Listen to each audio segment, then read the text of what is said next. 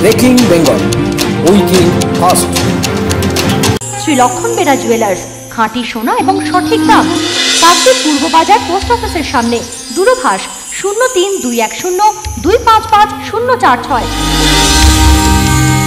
LP jewellers শুভ সময়, সব সময়।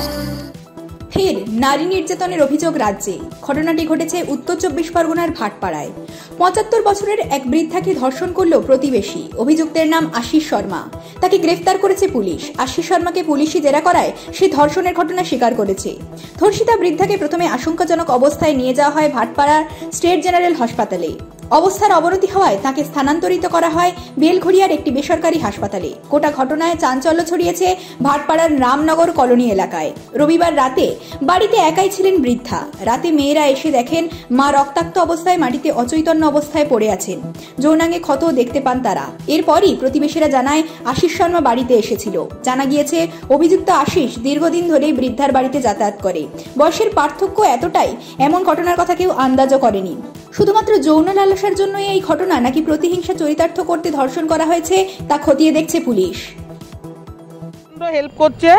আমরা চাই প্রশাসন আমাদের অনেক সাথে আছে আমরা চাই ওর করা শাস্তি হোক। এটাই আমরা যে দোষী তার শাস্তি হোক।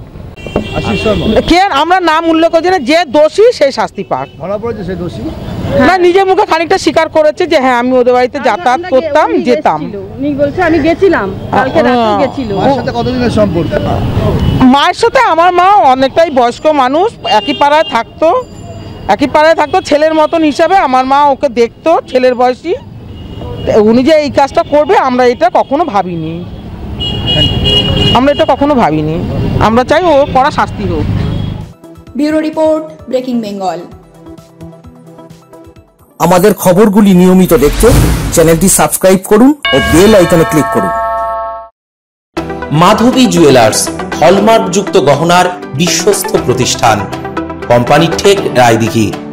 The Sararhat nursing home Sararhat Benepara. M D motors দু চাকার বাজাজ গাড়ির বিশ্বস্ত শোরুম। ভূতমল্লারপোল পুলিশ ক্যাম্পের বিপরীতে। পনেরো হাজার টাকায় ডাউন পেমেন্টে নতুন গাড়ি। ঈদের বাম্পার অফার চলছে।